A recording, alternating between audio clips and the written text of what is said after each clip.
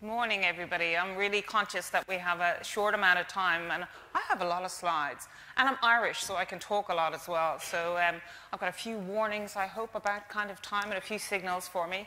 Um, it's an absolute privilege to be with you um, here today to talk about what the Stroke Foundation sees as the future of stroke in Australia, and we don't see it in isolation. This is an absolute partnership, and I think we've seen that quite a lot, those messages um, from this morning about why we need to be investing in this space, but also why it really does take a whole system to save a life. So I'm going to give you some really high-level stats. I know you've had a lot of graphs and stats already today, but I'll try and whip through them quite quickly, just to give you a picture of what it's like in Australia. And then my colleague Andy is actually going to give you a picture of what it's like in New Zealand. And we do actually in Australia work closely with the um, Stroke Association in New Zealand and try and share our experiences as well.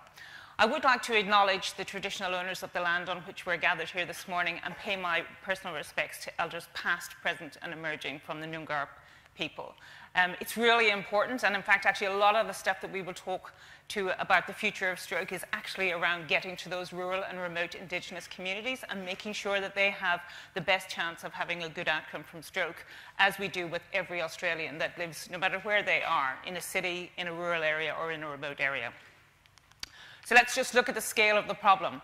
This is what we estimate will be in Australia at the moment. In this year, 2019, 56,000 strokes. And in fact, actually, that may not be correct because we do know that a lot of strokes actually never get reported. What we are seeing now is a reclassification of transient ischemic attacks, and they're going to be described as mini strokes. So we could actually see this number um, jump up as we actually get better at that data collection. But it's a pretty scary number now. What does it equate to in terms of the length of time I'm going to talk? Well, we have a stroke every nine minutes in Australia. And based on what you saw this morning from Bernard's um, slides around the population growth, we have a growing and aging population in this country.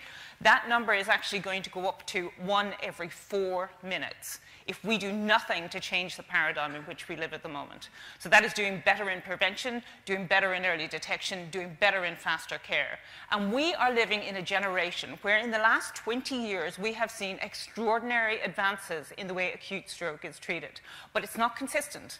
So it does depend on where you live, it does depend on your access to healthcare, and it does depend on what part of the country you're in as well. So, you know, we live in a wonderful federation in this country, but it does mean our health services are all set up a bit differently.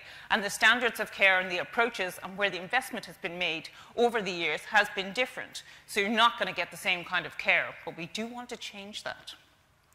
So the Stroke Foundation has been doing um, audits of the hospital system for almost 20 years. And in that time, we can demonstrate the huge advances that have happened in the medical, um, in the acute side particularly.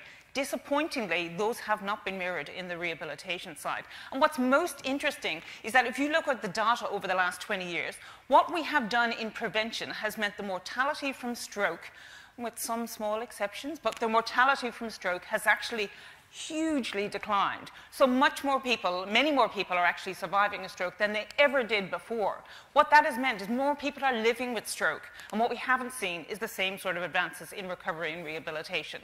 So we have a huge population now that are now living with stroke, over 475,000 people in Australia living with stroke, and we're not doing enough to understand how recovery really works. And what is the magic sort of silver bullet in recovery that will really enable us to make sure that somebody gets the best chance of living a full and active life post a stroke. So the whole system also needs to kind of, you know, reorientate itself around this whole recovery um, action plan that needs to happen in the stroke field. We do know that globally, actually according to the World Stroke Organization, stroke is now killing one in four, affecting one in four people. And in some countries, it's the top killer. So this is a huge problem. Don't underestimate it across the globe.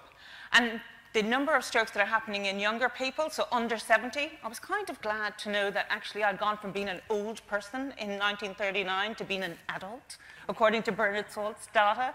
I was like kind of freaked out, thinking, oh my God, I'm an old person. But this is telling you that under 70, 58% of strokes happen. Now, most of us know that under 70, we're all pretty active still, and we're still having really active and engaged lives. 58% of strokes are happening under 70. So what's happening in acute treatments? Well, some of the great news stories. So thrombolysis, which has been, been one of the game-changing drugs in stroke, has actually, the availability has really improved over the last 20 years. So in 1999, we had 4% of hospitals that had this drug available. It's up to 77% in 2017. The problem is that people don't often get it, and that is down to how the whole system works. So although 70, 70 percent of hospitals actually have this drug available, only 11% of our patients across the country are actually getting access to that in a timely fashion. Now, some of that is time related, but it's also how the system is set up. We do know that the proportion of patients who get into a stroke unit is actually increasing as well. This gives patients the best chance of making the best recovery from stroke. This is the golden sort of treatment, is to get people into a stroke unit so they can be treated by a multidisciplinary team. We also know that front end of the hospital needs to be improved. Compared to some of our international colleagues, Australia is actually lagging behind on this. And this is where the people in this room have a huge impact on this. This is about initiating posted triage in the ambulance to tell the hospital that you're on your way with a stroke, so that the person is there to greet you at the door and everything works like clockwork. And again, where you've got good stroke, code stroke systems in place across the country, this is working like clockwork. The best in the country are able to treat stroke that arrives in a hospital within 24 minutes. That's what they're aiming to do. The faster we can treat stroke, the more brain we can save and the better chance of a full recovery. We also know in the rehabilitation space that even where we are focused on rehabilitation, we're focusing on getting the person mobile, getting them safely home from a physical perspective. We're doing very little around their cognitive impairment issues, the challenges they have with fatigue, with depression. And that means if I'm depressed and I'm really exhausted, how well do you think I'm going to engage with my rehabilitation? Not very well. So it, we really need to, again, switch the system over and saying, looking at a person's uh, cognitive um, impairment, looking at their, their, risk of depression is as important as actually focusing on their physical rehabilitation. If they're going to have the best chance of getting back into the workforce, of actually being socially included again and having a full and active family life. We also know that people aren't routinely using guidelines. Now, what are they using if they're not routinely using guidelines? Is it because they don't know where they are? Is it because they don't believe that the guidelines are up to date? We in the Stroke Foundation are currently working on developing a living guideline model. So we're going to take that, you know, that reason out of the mix completely. So it means that the information that's available on the stroke guidelines is the latest. It's based on evidence-based research and you can trust it. Now, what if we did better? So we analyzed the data over 10 years, and we said if people got the best care between 2007 and 2017, we would have avoided the loss of 17,000 healthy life years. This isn't just a moral imperative. This is actually a health economics imperative. These are people that could be productive in the workforce, productive in our communities. This is a huge challenge for us. We must take it seriously. So we are. We've got some small amount of funding from the federal government, and together with the Heart Foundation, we've actually developed a national action plan for stroke. And that sits around those four key pillars of prevention and early detection, diagnosis and treatment. This is where this people in the room come into play, support and care, and research. The government has also, under that research um, banner, already invested through the Medical Research Future Fund $220 million in the cardiovascular space. And this is really because there's a lot of people out there who think we've become a bit complacent.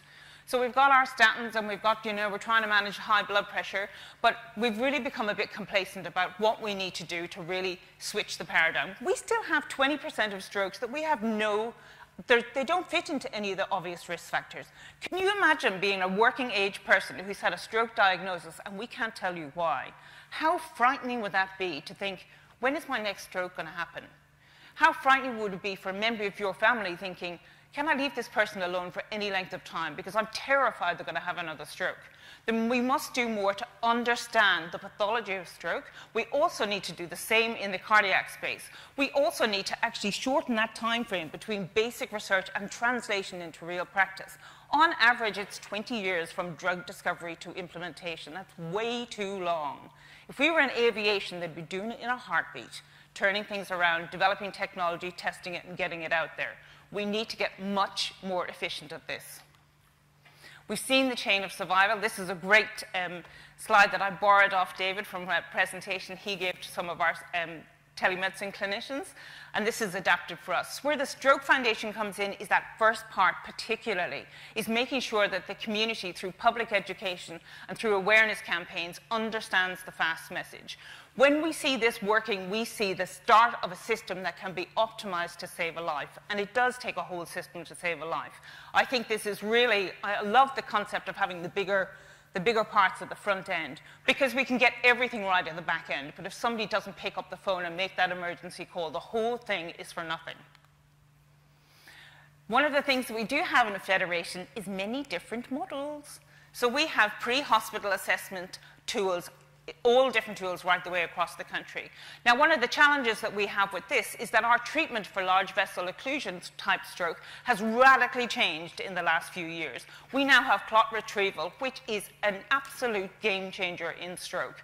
What we need to do is make sure that we can identify those strokes as early in the system as possible, because there is no point in bringing a, a patient with a large vessel occlusion into a hospital where, on average, once you bring the, the person into hospital and you get them into the ED and they have a scan and they're seen and they're triaged and all of that, and then you identify a large vessel stroke, on average, that's about two hours before they can then be transferred onto a bigger hospital. That's two hours where their brain is dying in front of you. So what can we do to actually avoid them going into these smaller hospitals? We have seen in the Stroke Foundation so many tragic cases where people have you know, huge and lifelong disability because they went into a primary hospital, sometimes without even access to a CT scanner out of hours or over a weekend. We must do better to do that large vessel occlusion uh, identification at the front end. Um, we have an ACT-FAST algorithm that's being tested in Melbourne. We have one that was presented at the European Stroke Conference this year, and I know that we've got a panel discussion on this very topic, so I'm not going to go into it in any detail. But this is about saying if we can identify that large vessel, we can bypass those hospitals that can't give that kind of clot retrieval treatment and get somebody to a comprehensive stroke centre. In Australia, this is critical. I myself are going to Townsville later in the year, in about six weeks. And I've already like texted a couple of neurologists in Brisbane and said, you know, can I have you on speed dial? Because I know in Townsville we don't have a clot retrieval service. That frightens the life out of me. We have a big population in the north of Queensland, and all of our clot retrieval services are down the east coast in Brisbane and on the Gold Coast. You know, in this day and age, that's not good enough. We have a dispersed population, but that should generate the innovation that we need to really change the system. We have it. We have technology now that can actually provide specialist stroke services via video into all of our regional hospitals. We have a fully operationalized telestroke um, network in, in Victoria. We're about to get one up and running in Tasmania. We've got pilots going across the country. This is a potential game changer. Yesterday, I was part of really a hugely exciting announcement, which is about taking this concept of providing emergency stroke services out to our regional and rural areas to the next level. So we already have a mobile stroke unit, and that has been a sensation to be involved in, not just because it's got the message out to our, to our community that stroke is a medical emergency, but because it's actually bringing the emergency department to a patient's driveway. And I know that Skye Coote has actually got a whole session on this, so really go to her session. It's fantastic to actually get the data from this and see the impact that it's having on our stroke care. The key thing with this is to actually miniaturize all of that. So you saw a bit about that this morning, about how we can miniaturize some of the CT works with these helmets that do microwave um, sort of technology to exclude um, hemorrhagic stroke. And that's critical to being able to deliver that first-line clot-dissolving drugs. So it's really important that we you know, invest in this innovation. We have a country where we've had trailblazers for years because we have a massive geographical space, and we have a population that's dotted all over. That kind of challenge breeds innovation. So we are going to be the first country to put a CT scanner in the air. We are going to be the first country that will roll out a national stroke-capable ambulance fleet. I have no doubt. And the team that's about to like pull all of this together has got 12 months to prove that case to the government and hopefully get a big grant to develop the technology. So watch this space. We also are driving the latest in research. So we're extending the treatment windows for clot dissolving drugs. They're now going up from four and a half hours up to a potential nine hours with advanced imaging.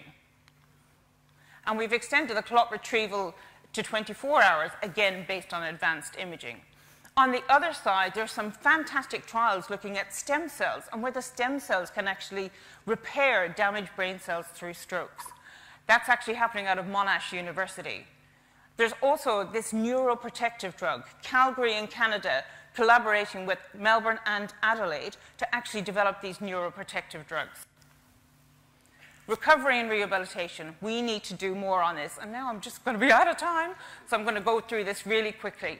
The key thing is here we need to understand more about the mechanisms that are associated with recovery. We see one patient with a type of stroke who makes a fantastic recovery next to the, another patient which looks exactly the same with a similar type of stroke and have a completely different recovery pathway. We need to understand more about why that difference takes place and what we can do to intervene more. Wouldn't it be great to know that your type of stroke, because of your biomarkers, will respond better to an exercise program and this person will respond better to an anti-inflammatory sort of drug supported by better diet.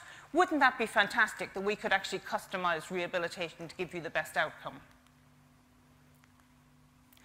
Um, I am going to finish now and say the whole system relies on us all being stroke aware. So that means making sure that every time you get an opportunity to be in front of a different audience that you teach them the FAST message. Our stroke campaign for this stroke week this year is all about fast heroes. You're all a bunch of fast heroes because you know the signs of stroke and you talk to your families about it all the time. Please tell anybody who hasn't heard about this the fast message. The more people that know, if every household in Australia and every workplace had somebody that knows the signs of stroke, we can actually have a system that will save lives. Thank you.